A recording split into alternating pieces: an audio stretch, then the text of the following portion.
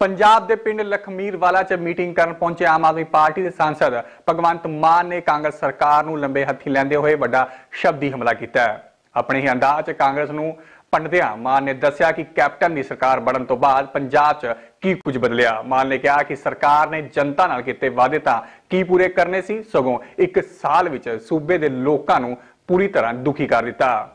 ਮਾਨ ਨੇ ਕਿਹਾ ਕਿ ਪੰਜਾਬ ਚ ਜੇ ਕੁਝ ਬਦਲਿਆ ਤਾਂ ਉਹ ਇਹ ਹੈ ਕਿ ਪਹਿਲਾਂ ਲੋਕ ਮਾਰ ਖਾਣ ਬਠਿੰਡੇ ਜਾਂਦੇ ਸਨ, ਜਦਕਿ ਹੁਣ ਪਟਿਆਲੇ ਜਾਣਾ ਪੈਂਦਾ ਹੈ। ਗੱਲ ਦੱਸ ਦਿੰਦਾ ਕੁਝ ਨਹੀਂ ਬਦਲਿਆ। ਮੁਰਦਾਬਾਦ ਦੇ ਨਾਰੇ ਵੀ ਉਹੀ ਨੇ, ਬੇਰੁਜ਼ਗਾਰੀ ਦੇ ਮਾਰੇ ਵੀ ਉਹੀ ਨੇ। ਵਿਰੋਧ ਕਰਨ ਵਾਲੇ ਝੰਡੇ ਵੀ ਉਹੀ ਨੇ, ਪੁਲਿਸ ਵਾਲੇ ਵੀ ਉਹੀ ਨੇ, ਡੰਡੇ ਵੀ ਉਹੀ ਨੇ।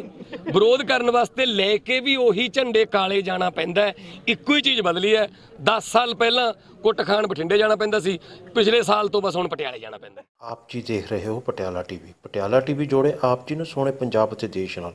ਹਮੇਸ਼ਾ ਦੇਖਦੇ ਰਹੋ ਪਟਿਆਲਾ ਟੀਵੀ।